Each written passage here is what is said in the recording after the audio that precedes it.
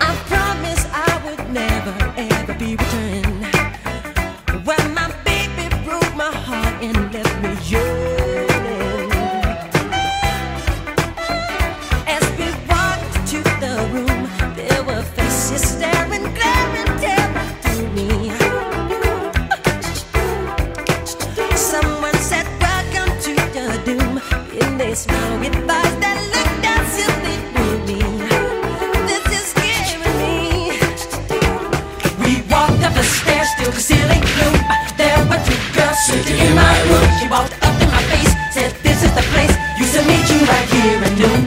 this is